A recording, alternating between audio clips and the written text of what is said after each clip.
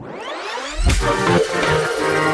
दोस्तों, स्वागत है हमारे चैनल पर। आपके फेवरेट सीरियल इमली में चल रहा है हाई वोल्टेज ड्रामा जहाँ पर एक और घटिया चाल उन्होंने चल दी है, जिसका असर हम देखने को मिलने वाला है। आने वाले एपिसोड में हम दिखाया जाएगा कि इस तरह से इमली और सुंदर दोनों किचन में काम कर रहे थे और मालिनी उसे चिढ़ाती और कहती कि मेरे रूम की भी सफ़ाई कर देना। तो रूपी कहती, है, इसके रूम में तो और भी ज़्यादा कचरा होगा तो तुम अच्छे से सफ़ाई करना। और यहाँ पर बाहर डस्टिंग करी होती है और पंकज भी होता है और दिखाया जाता है कि सुंदर दो लोगों को लेकर आता है जो कि आईडी चेक करने आते हैं और वो इनके एम्प्लॉयमेंट की तरफ़ से आए हैं, जो कि नौकरों के लिए, उनके लिए काम करते हैं।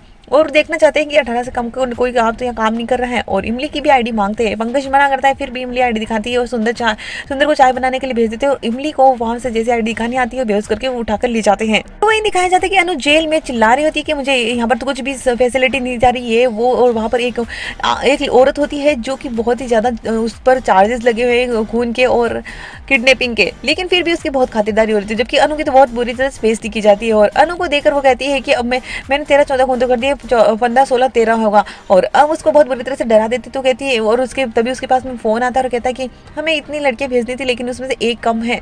और उसमें एक लड़की कम हो जाती है तो अनु कहती है कि मैं तुम्हारी मदद कर सकती हूँ। और वो एड्रेस देती है, जिसकी वजह से वहाँ पर वो दो लोग पहुँचते हैं और इमली को किडनेप करके उठा कर ले जाते हैं। और घर में तमाशा मच जाता है तो दूसरी तरफ़ मिट्टी, इमली के लिए उसके लिए प्रार्थना करते नज़र आती है, लेकिन दीपक बुझ जाने से वो बहुत बुरी तरह से डर जाती है और तेरे पार्टी पर निवास में कॉल लगाती है।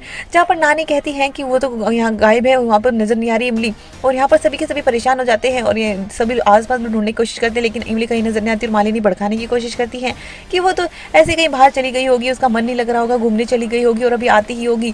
लेकिन तभी सुंदर और रूपी सभी लोग पता करते हैं आसपास के ऐसे लोग कहीं और तो गए ही नहीं। और दीदी को पता चल जाता कि वो किडनैप हुई है। तो दूसरी तरफ़ इमली, वहाँ पर उस अपने आप को देखकर वहाँ पर उसे बंदूक से डराने की कोशिश की जाती है। लेकिन कहती है, ये गोली हम खा भी चुके हैं और खिला भी सकते हैं। और उसको कोई डर नहीं लग रहा था, लेकिन काफ़ी सारी लड़कियाँ होती है इनको तो डर लगेगा ना और उन लड़कियों पर बंदूक तान कर उसको डराने की कोशिश करते हैं और उन लड़कियों से पता चलता है कि कहीं और भैया ने भेजा जा रहा है और वो उन्हें कोई काम के सिलसिले में उभार भेज रहे हैं और उनके से काफ़ी अच्छे पैसे भी मिल रहे हैं। वो लड़की पूरी तरह से डरी होती है और उनको काम करा के दिखाया भी जाता है कि तुम काम करके दिखाओ झाड़ू वाड़ू लगा के दिखाओ।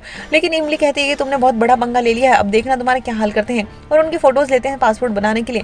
वहीं आने वाले एपिसोड में अब देखने को मिलने वाला है कि इमली को और सभी लड़कियों को एयरपोर्ट ले जाया जाएगा, जहाँ पर इमली को होश आ जाता है और उन सबको व्हील चेयर पर ले जाया जा रहा होता है, जिससे कि अब इमली को व्हील इमली बहुत बुरी तरह से यहाँ पर उनका विरोध कर रही होती है जबकि सभी लड़कियों को अच्छे से ले जाया जा रहा होता है और उसको व्हील चेयर पर ले जा रहा होता। है और आदित्य को पता चल जाता है और आदित्य एयरपोर्ट पर पहुंचेगा और इमली को ढूँढने की कोशिश करेगा और इमली और आदित्य दोनों ही गुंडों से लड़ते नज़र आएँगे और अब सच्चाई सामने आएगी कि ये किसी और ने नहीं, अनु नहीं करवाया है।